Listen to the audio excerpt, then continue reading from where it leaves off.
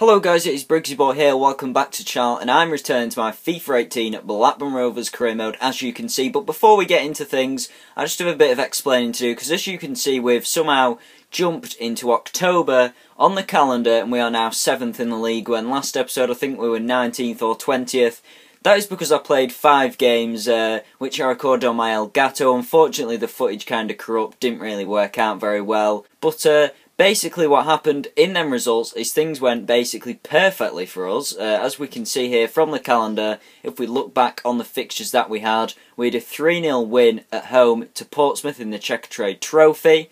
And then previous to that, we won 2-0 at Gillingham, 2-0 against Rotherham, 2 0 against Shrewsbury and a 0 0 draw against Wimbledon. So basically, we are now unbeaten in five games. A good record, which I'm hoping to extend in this episode. The team's been on fire recently, and we've been bagging in quite a few goals and getting quite a lot of clean sheets, actually, thanks to David Raya.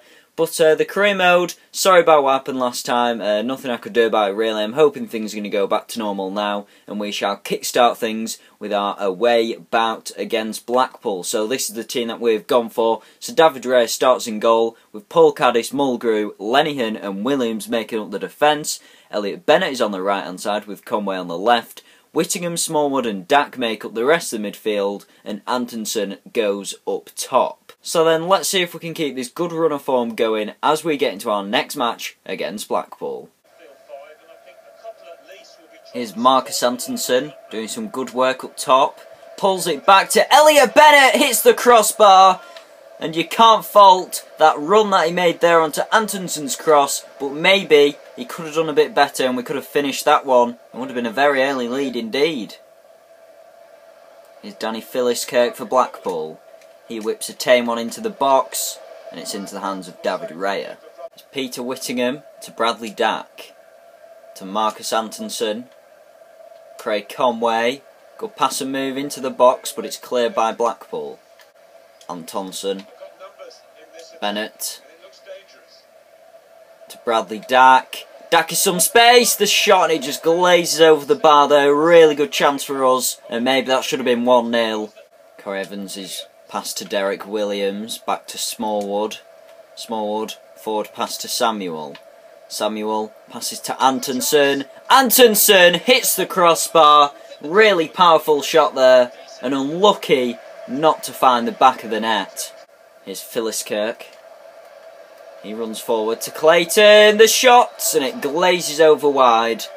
Full time whistle then goes and it's a nil-nil draw against Blackpool. Not many chances for either of us really in that game, and that reflects in the scoreline. A good point though, and it keeps us up near that top half of the table. So then after that goalless draw against Blackpool, we now move on to our second league game of the episode, and it is away at Oldham. So as you can see, after that draw, we just drop a place down to 8th on goal difference below Blackpool on 19 points, 12 games played. So this away game against Oldham, it's quite an important one. They are currently towards the tail end of the table, struggling as things stand. So uh, this is the squad that we've gone for for this match, though. Paul Downing coming in for Lenihan and Dominic Samuel coming in for Antonsson are the only changes made to that first team squad. The other nine stay just the same. So then let's get into our second match of the episode and hopefully a win will be on the cards. Here's Menig for Oldham. He paces down the wing. Good block there, though, from our defender. Goes out for a corner kick. It'll be Jack Byrne that takes the corner for Oldham then. Hard and low. The volley! And I thought that was 1-0 there. Very close for Oldham. And a let-off for us. Because as that replay shows, that cross was brilliant. The volley was even better. It was inches away from going in there. Here's Doyle. Puts the ball in. The header!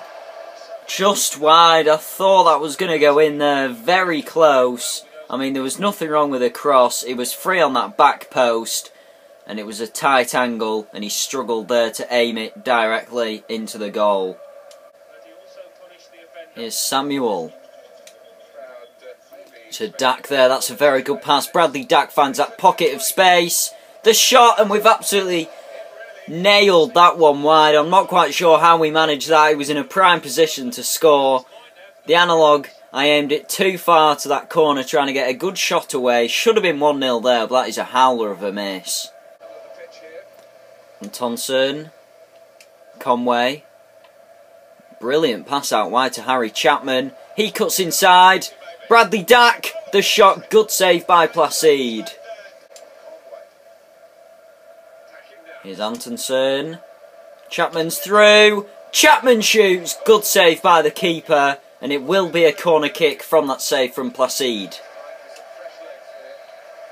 So Craig Conway whips it in. And he's free. Antonsson on the back post. Another good save by the keeper because that one was going in. Pass it to Bennett in the centre.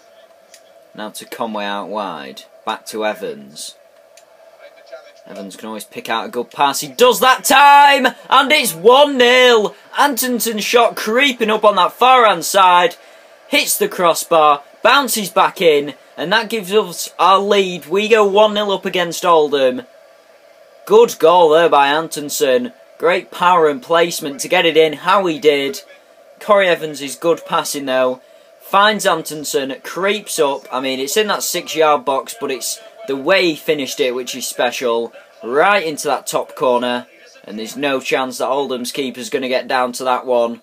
We go 1-0 up then, against Oldham. Elliott Bennett. Chapman. Antonsson. It's Elliott Bennett! What a save by the keeper!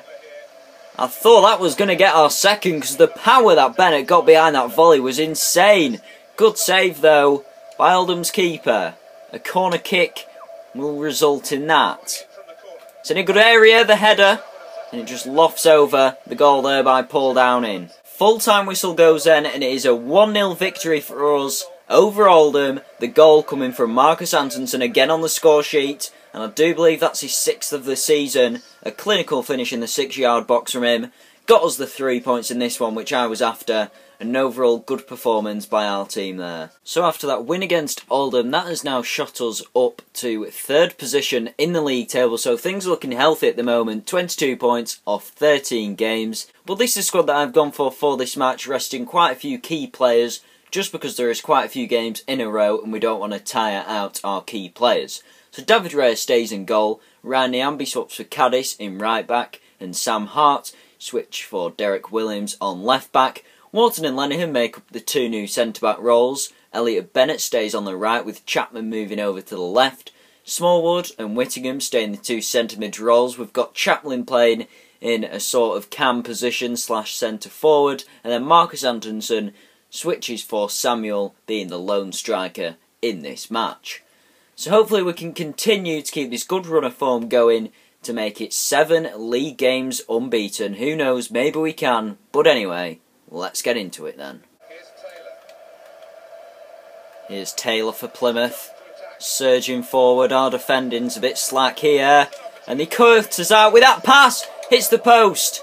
And I booted it out there, almost scoring an own goal in the process. But it's Baraye for Plymouth. It will be a corner kick though. From our clearance. It's out wide to Carey. And it just goes wide. Tomlinson. Samuel. Good pass to Chaplin. Conor Chaplin, really good save from Plymouth's keeper there. He stopped a goal for certain. There's the replay. Some serious power behind that one. Did Chaplin just tipped over with a hand, and it will be a corner kick, which Chapman takes. It's in a good area. Nobody can quite get on the header of it though, and it does go out for a throw. Here's Chapman. Oh, and that's a really good ball. 1 0. And it was from the strength and intelligence there of our Blackburn man that got us that goal. Marcus Antonsson, that man again, getting another goal for us. He's been on fire as of late, getting another goal there. And he used his strength just pull that defender away from where the ball was heading. Here's the replay. And I mean, yes, the defender did scuff it, but he was there to just mop up the rebound, and it had some power behind it there. The keeper wasn't going to save that one down to his right hand side, and it's a great goal for Marcus Antonsson. And he opens the deadlock in this game now then 1 0 Chapman. Chaplin.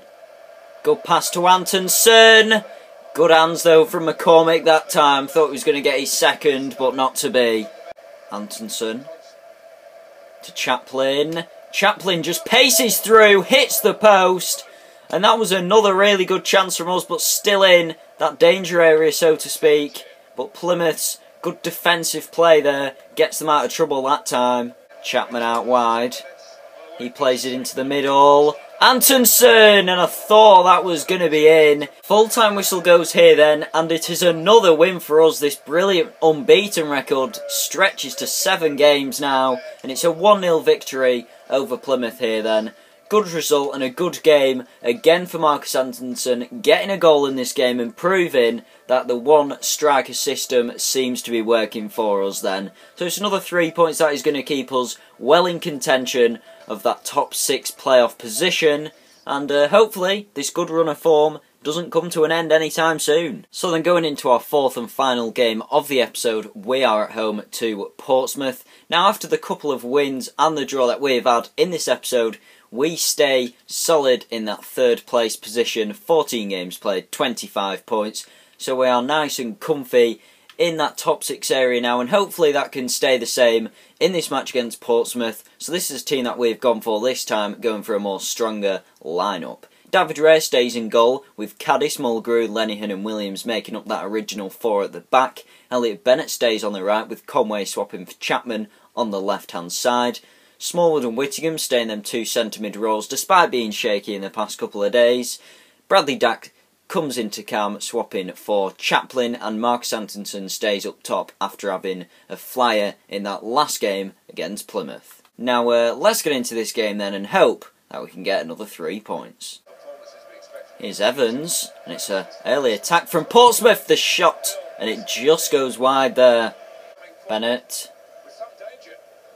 Antonsson, what a rocket of a goal and we go 1-0 up after just 15 minutes. Marcus Antonsson again on the score sheet. He has just been on fire in recent games.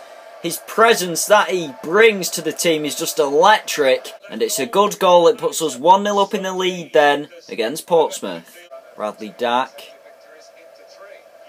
And Bradley Dack continues to run. He's got the space. The shot, good save from McGee and Portsmouth boot it clear of any rebound chance that we may have. Williams to Evans. Evans pass it to Antonsson. Antonsson shot 2-0. His second of the game. And could he get a hat-trick? Well, with only 60 minutes gone, you've got to favour him too. He has been on fire in this match and for all season, really. He's just been the perfect addition to the squad up top. And what a goal that is, similar to his first, with the power and placement that he's imparted onto the ball. And here's the replay, weaved in and out of them defenders, and it's a good goal there to add to his tally this season. That is his ninth, believe it or not. And what a goal it is. 2-0 then. Paul Caddis there makes a foul. He's already on a yellow for us. Is it going to be his second yellow? And it is. Paul Caddis sent off for us then. Probably a bit reckless. Probably shouldn't have done that in the circumstance with him already being on that yellow. But it means that we are down to 10 men. Three defenders on the pitch. Luckily we are 2-0 up though with that cushion that we have. If Portsmouth do go on a mad one here and score. Cadden. And it's a good block. Here's McCrory to Main. Into the centre! Brilliant save from Ray, but the rebound goes in, and Portsmouth have got us on the back foot here. We could be in trouble because it goes to 2 1 here. Luckily, we had that cushion. It's a goal from Hawkins. It was a brilliant first save from Ray, though. It was the rebound with that header which cost us a goal, and that is the first goal that we have conceded in seven or eight games, believe it or not. Raya, great keeping. There was nothing he could have done about that rebound, though. It was a simple goal that Hawkins could tap in that top corner. And Portsmouth then, back in this one. We've got a few minutes to hang on to them three points yet. It is far from over. Full time whistle goes in, and it is a 2 1 win for us. Just about got there in the end. That late goal from Portsmouth did have me worried, but it's that man Marcus Antonsson, the star man for us, bagging two goals, getting his ninth of the season overall, and another good win for us, which will keep us well into contention of the top spot of League One. So then guys, that is where I'm going to wrap up this episode of my FIFA 18 Blackburn Rovers career mode. Now hopefully you've enjoyed it. I know I have because at the moment things couldn't be going any better. I think we've stretched it to 8 games unbeaten now.